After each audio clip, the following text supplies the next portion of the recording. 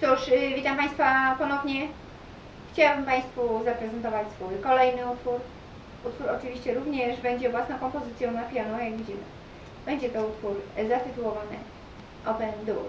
Inaczej mówiąc, tłumacząc to z języka angielskiego, będzie znaczyło otwarte drzwi.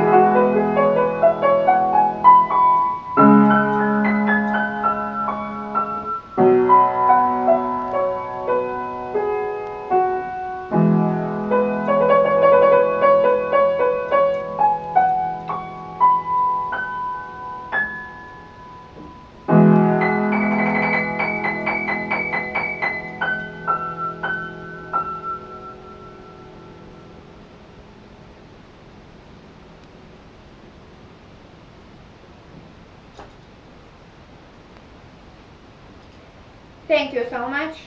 Dziękuję bardzo.